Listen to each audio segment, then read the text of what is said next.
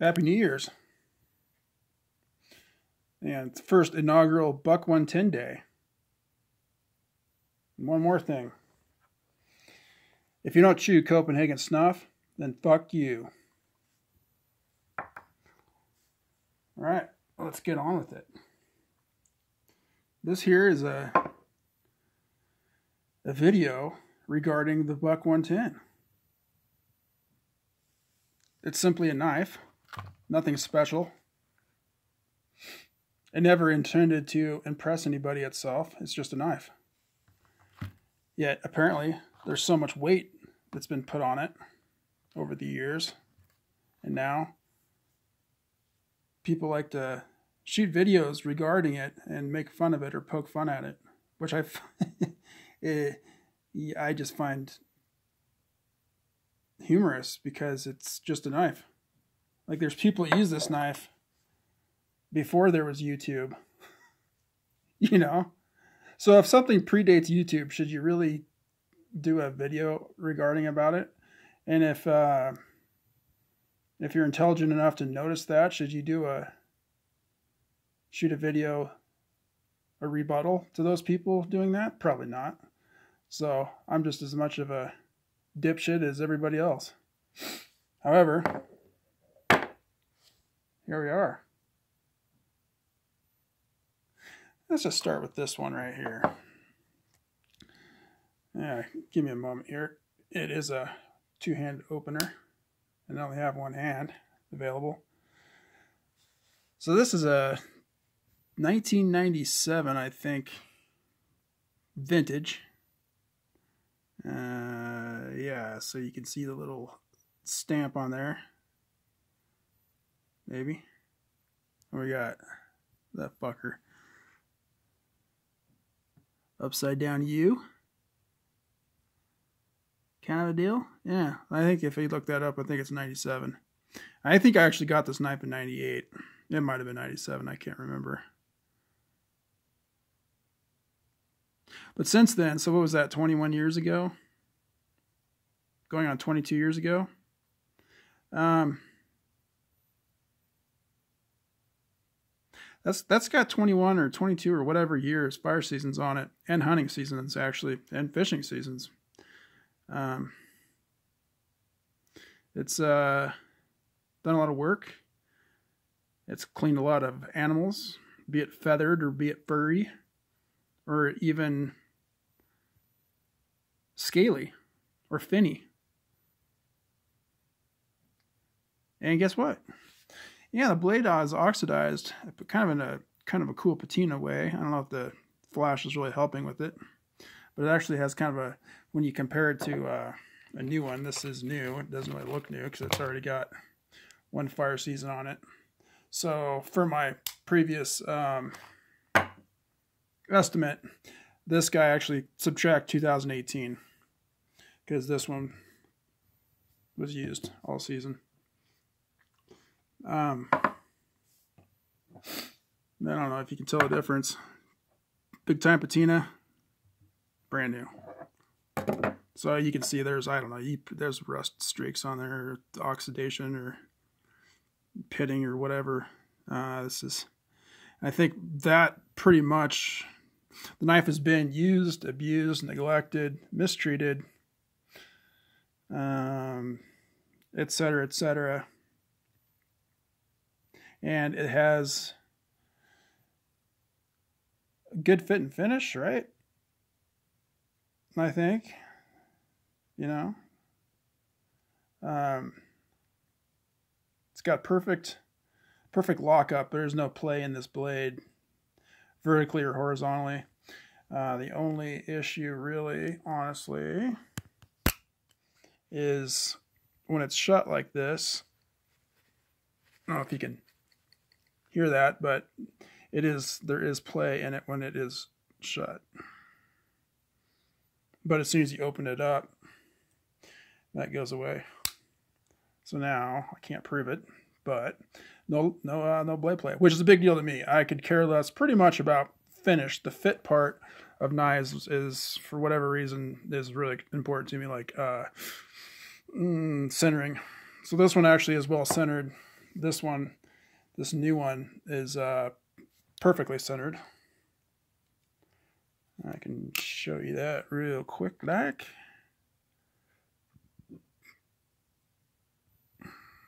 That's focusing. A lot of glare. Apologies. Okay. So, what is a buck 110? Well, it's a folding hunting knife, originally designed in the 60s, 64, I think, which I think means that uh, it was the 50th anniversary here a few years back. Um, personally, my dad, when I grew up, probably before I was born, you know, obviously before I was born, but he has, he has one. He still has the, the one that he always had. Um, so it's kind of like the go-to knife. That's what him and all his buddies had. And when I thought of a knife, that's what I thought of because do you really, yeah, you need a pocket knife, maybe like a Swiss Army knife, maybe some other kind of lightweight lockback or, you know, locking blade or I don't think I ever saw him with one of those um, slip joints, but I think well, he had something. So he must have had some other knife uh, for like you know using more typical things. As far as hunting goes, always had this. So that's what I grew up looking at, thinking, yeah, that's that's what a knife is. So I got out of high school, got my first fire job, and he actually gave me this. And it's a little unique because uh, it's a, it's actually a chisel ground. Now I've kind of fucked it up, dicked it up over the years. Um, originally I tried to probably turn it. I thought this whole chisel thing was a stupid idea back before I knew any better, and it, it I might have been right. I don't know, but I tried to make it into a V. It never really worked. It just really thinned out the apex, I think, and made it really prone to chipping. But since then, I've just sharpened on this side and deburred on that side, though it still looks like there's kind of a bevel over there, but and there is, but I'm trying to get rid of it now. Um, but all sorts of different. Nobody really showed me how to sharpen a knife. And like I had a mentally hard time because my dad, I don't know, he never, he never really showed me, or maybe I would just never paid attention to what he did teach me. But I used all sorts of different methods over the years, and, and really until recently, now I, I use a, a, Sharpmaker and I really pay attention to it because I think what I did I had some I've used flat stones I've used diamond or steels you know like a you know I don't know a car out of some shit you buy from a sporting goods store I was trying to figure out how the heck you're supposed to do this but finally I just took my time thought about it and I did a pretty good job I think and then I mean you can see how coarse it is now it's because I'm trying to get rid of some chips and I'm just using a medium rod on a Spyderco but eh, anyway, um, Sharpmaker, sharp maker. But uh, that's kind of why it looks so damn coarse, and it is coarse. However, it is sharp. I mean, you can shave your arm with it if you like. Um, so yeah, so I got a better handle on that now. So what is the Buck 110? The Buck 110 is a folding uh, hunting knife, specifically a hunting knife. That doesn't mean that this is that's the one thing you can use this knife for. Um, however, that's what it was intended for originally.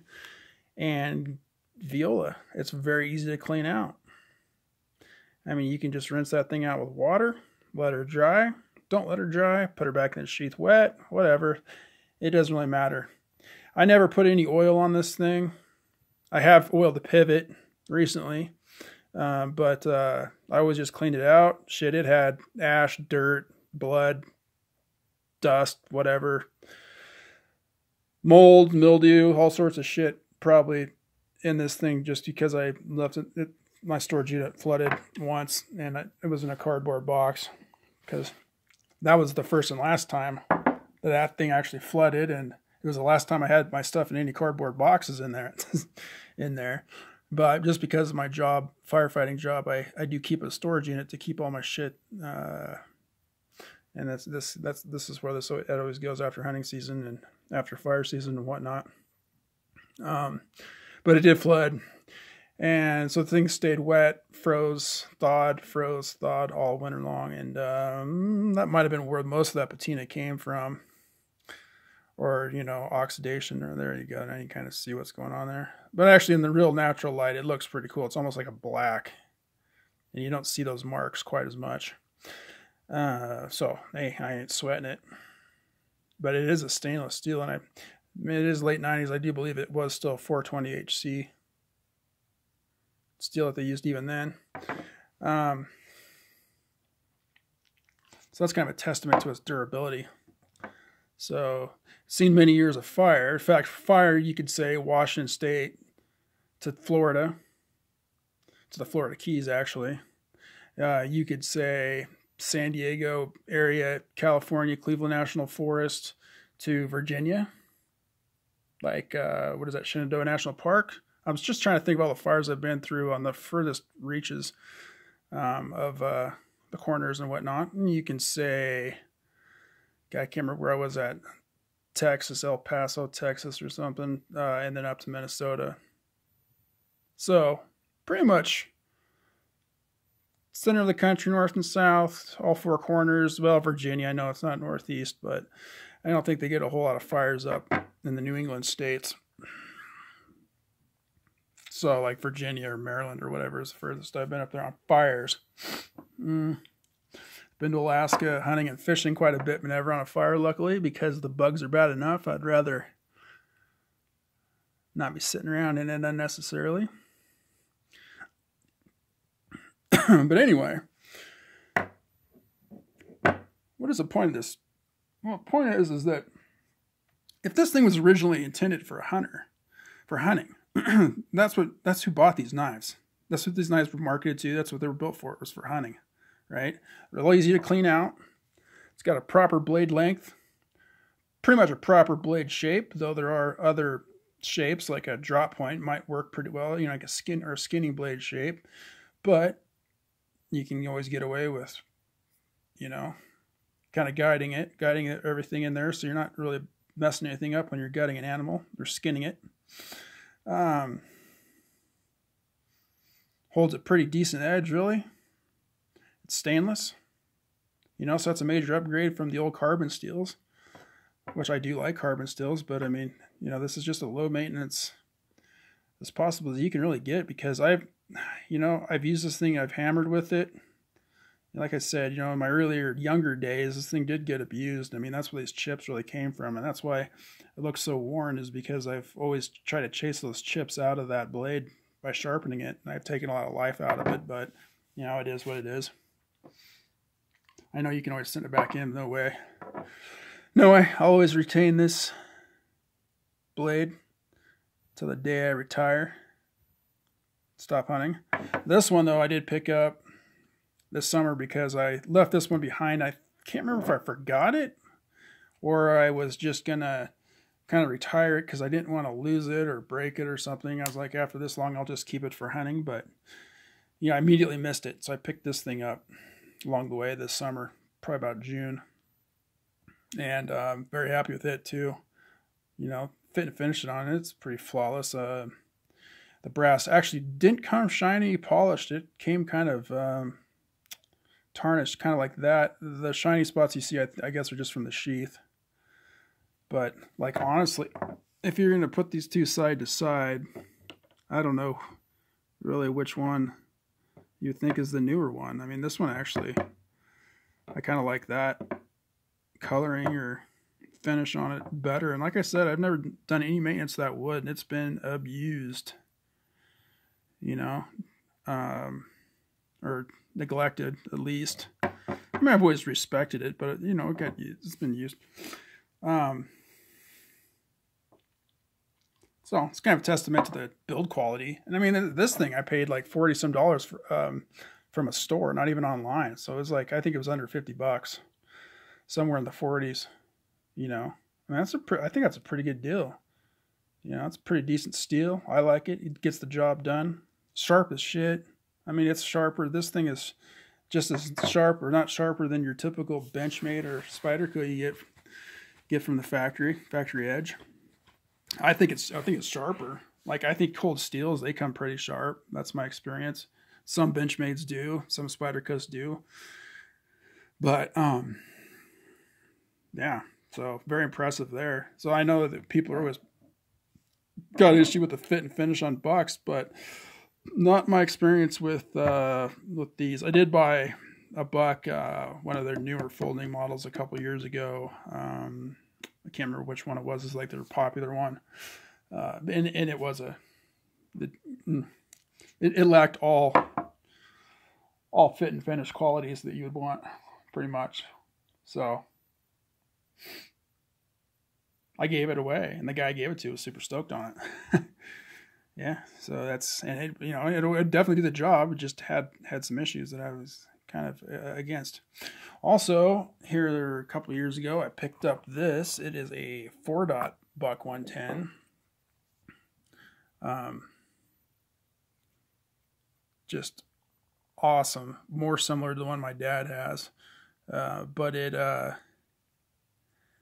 it's from the early 80s, I guess. It's a four dot, not the not the two dot as you can see. And it, it was new. I know it, it, looks tarnished, but that's just the way it came because, you know, it came in the box. The guy said I never used it, and he didn't. You can tell. Um, but, you know, and he said I, he's, he's, he didn't polish it up or anything. I said, great. I, ha- I still haven't done it myself. Then I might not. I'll just leave it in its natural condition. Um, and the sheath, because I have used this or carried this knife. I haven't used it a whole lot, but I have carried it. Uh, and you can, the big, you know, it's another big difference is I think the quality is actually better on this than these, honestly. Because, you know, some, usually I think newer is better, but um, sometimes, you know, the older is better. Like these have the rounded handles, probably, probably more comfortable, really. But this is a hunting knife. It's not meant for like, you know, I'm not a butcher. I don't do it for, I don't do it eight hours a day. So, you know, this thing is, is fine for, uh, for using on an animal. Obviously, a bird or a or fish, you know, I mean, you're really not even holding the handle a whole lot as it is, and it's very quick. And even at large large animals, you're not getting after it all day long either. Um, and then the sheaths. So this is the newer one, the newest one. It's uh, kind of got that um, belt strap that I actually like because with this, the way this one rides, I think this one would be the perfect out of all of them because it would kind of hang below your the waistband on your pack. You know, I carry a 35, 40 pound pack daily fire fireline pack, um, or even like you know, 100 100 plus pound pack pack out bag. Um, and I, I'm not going to take this to work, but I think it that's better because it, it sits in your belt. It's to sit below your your waist your waist strap on your backpack. Whereas this thing that I carried all those years, I mean, the only damage done to it really is this, and it still is going to hold. The, this thing is not going to give. But uh, that's from sometimes this, you know, the, the pack is sitting there pressing on your hip bone through the knife, right? And it's uncomfortable, so I would pull it aside and then just rest the waist strap, pack strap, like that. So all that weight pretty much just sitting on that and all those years of that and that's that's all the damage that thing took. So you know they do make a good sheath as well. Um, not as good quality leather as this old one. And then this one actually had a sticker on it that said made in Mexico. Um, but it honestly doesn't look a whole lot different or smell a whole lot different than this one I think it is just a tad lower grade than this though I, I, I think I can detect a little difference. I think it's a little thinner, um, but not not a whole lot. So I think they've actually been making this cheaper leather sheath for for quite a while. But I think it's actually still just a little bit better than that one. But and not because it's made in Mexico. It's just like you know, that's just what leather they they prescribed. You know, that's what they that's what they they're they're saving money that way. Because I'm assuming back in the day, back even in the late 90s when this was bought, it probably costed more even then than this does. You know, say it's a $40 online knife now with a leather sheath. You know, this one 20 years ago or whatever could have been 60 bucks or more. I don't know. I I think that it's a this whole setup is a is a bargain though. I do. And I know it doesn't reach the you know, it's not a knife that people like. You know, if you're on like the YouTube people, they like like a Kershaw, Chinese Kershaw, you know, or something like this. which I like this knife too. Okay, as far as like put in your pocket, lightweight, one-handed opening, you know, it's good. It's good all-around knife. That's a 75 $80 knife right there. Uh, made out of plastic and VG10 steel. It's not. I don't think it's any better than 420 HC as done by Buck. Um, I mean, this wood and brass, it's heavy. These things do have some weight, but you know what? You carry them on in, on your belt. That's what they're for. That's what they're originally designed for. Keep it out of your pocket. Keep your, you know, your legs clear. You don't want a big ass hunting knife in your pocket while you're hiking around anyway. Like I carry this for work too. Um, I usually keep it keep it in a cargo pocket tucked in the corner, so I can't even tell it's there. Not this particular. Well, this one, yes, for a few years, and then uh, I had one, an older one that I finally lost. Um, so I'll carry that. Carry one, a Benchmade AFO auto knife, and then one of these two. Well, this one now. This one's strictly hunting. Um, so yeah.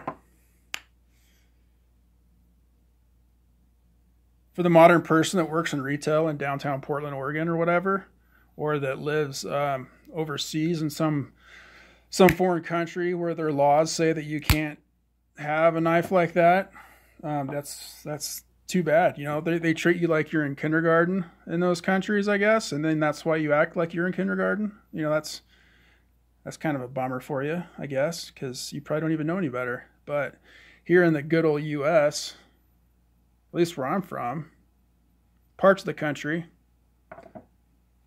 it's at least an option. Now, I'm sure there's better hunting knives, but this one ticks all the boxes. I mean, I bow hunt too. Like, what do you think I shoot? I shoot a longbow.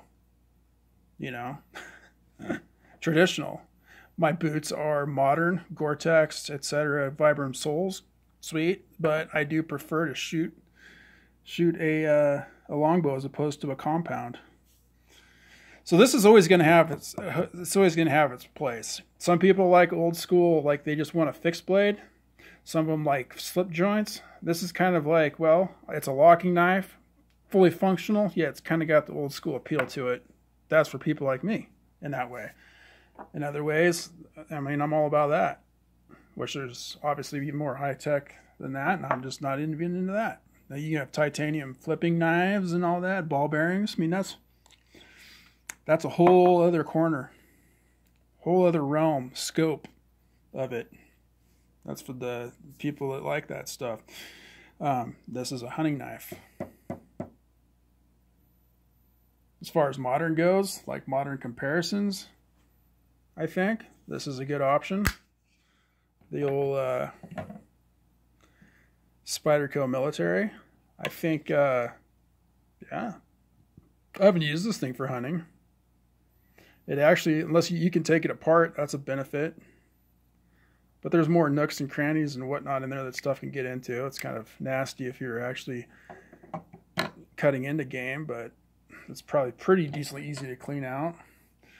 Um, this, like as far as non-auto knives goes, is I mean I think it's an awesome knife. I think it, you know, you can see in there it's it's going to be a kind of a pain to clean out too, but that blade shape is I really like it.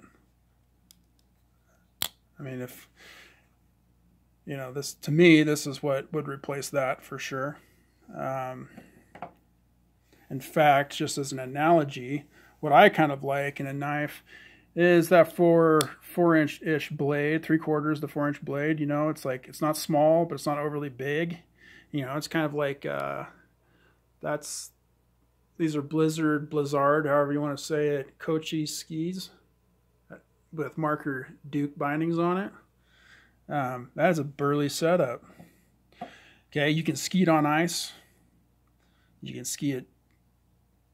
Probably people watching this are not into skiing, but it's a it's a big burly ski. However, it will ski hard snow great, but it's still it's not a uh, closed course ski It's a big mountain competition ski, but it's not a it's not a gate ski. So is this. Like you can have that, or you can have a smaller um, little pocket knife, you know. I mean that so this this will do what a little pocket knife does, but it's also big enough to do other things. That's kind of what I like. Seems like most people like a smaller knife because they don't need a bigger knife. That's that's great. That's fine. Doesn't mean that you have to disparage old trusty here. Uh, another another great option here is this. Same thing, probably a little tougher to clean out. It's good quality though. D2 steel, probably a little bit more prone to to rust, I think, but it's not bad. I mean, I've had it for several years now, and yeah, I got there's a couple. You probably can't see them. There's a couple little spots on there, but it doesn't affect anything. Um, yeah. So I think I pretty much said my review on uh, or discussion on the old Buck 110. Figured I got a good day of skiing in. Not necessarily hungover from last night. Way to start the new year. Why not start out with uh, a little Buck 110 video? Hope you all have a good rest of your day.